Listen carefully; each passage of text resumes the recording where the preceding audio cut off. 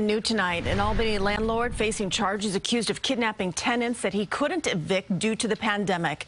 Shawn Douglas out on bail tonight. His tenants tell police that they were abducted early Sunday morning at gunpoint, restrained with zip ties and covered with pillowcases.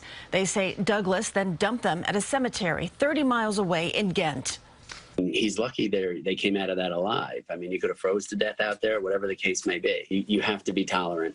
There is a process. Um, I didn't invent it, so don't call down here to the sheriff's office screaming and yelling like everybody has been for the last 12 months. That ban on evictions remains in place until May 1st.